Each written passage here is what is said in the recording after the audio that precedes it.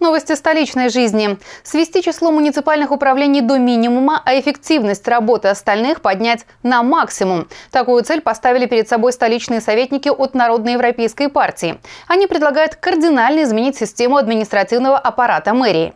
Сегодня фракция НЕПМ представила основные этапы реформы, которая сделает работу исполнительной власти в Кишиневе прозрачной и сэкономит немало бюджетных средств.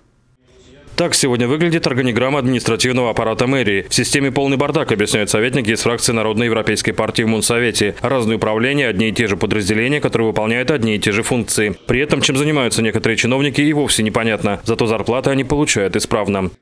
Deci vă dați seama că astăzi, în preturile din sector, Представьте себе, сегодня в районных притурах есть люди, которые получают 4-5 тысяч леев ежемесячно и занимаются формированием общего имиджа притур. Я прочитал и сам не понял, что это подразумевает. Другая должность управления деятельностью народных дружин, которые уже не существуют. Dirigează activitatea gărzilor populare în sector, care nu există. Сегодня в подразделениях мэрии начальников больше, чем подчиненных. Должности первых народные европейцы предлагают свести к минимуму. Также создать отдельный департамент, который будет администрировать всю муниципальную собственность. La nivelul direcțiilor și secțiilor, evidența contabilă в управлениях разных отделов бухгалтерский учет муниципальной собственности ведется с огромными нарушениями. Сегодня мы практически не можем сказать, какими располагаем ценностями, какой собственностью, какова их стоимость и как ими можно распоряжаться.